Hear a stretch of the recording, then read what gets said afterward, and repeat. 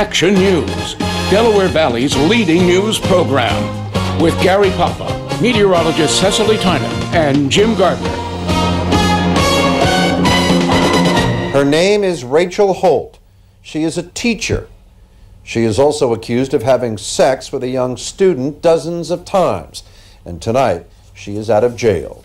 Thursday night, and the big story on Action News tonight.